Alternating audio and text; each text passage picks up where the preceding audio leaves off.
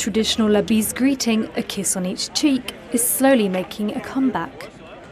The customary greeting, bestowed upon family, friends, and anyone else in an informal setting, was de facto banned at the height of the global health crisis in favour of social distancing. Now that more than 70% of the population has been fully vaccinated, La Bise is back, and Parisians like Carmela couldn't be happier.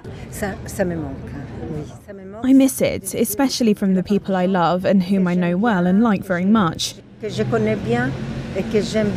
For a long time, even my daughter kept her distance.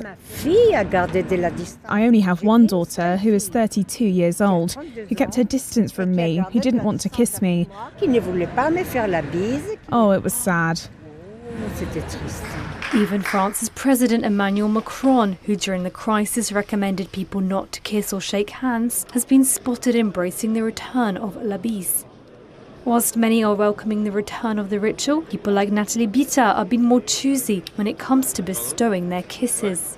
I stopped kissing people on the cheeks during COVID due to social distancing, but now I'm doing la bise to people I know, but only to loved ones, not to people I don't really know well.